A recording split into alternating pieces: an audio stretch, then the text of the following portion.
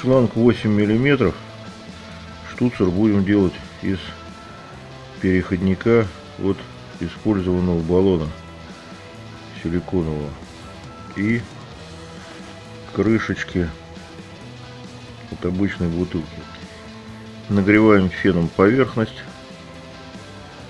и втыкаем туда штуцер. В результате должно получиться вот так вот, вот. Обрежем по нужной длине. И получится вот такой наконечник.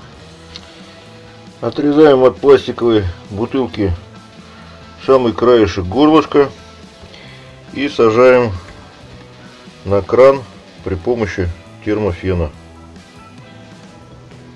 Накручиваем наш переходник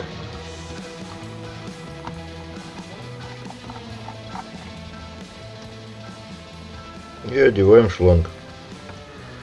Вот как получилось.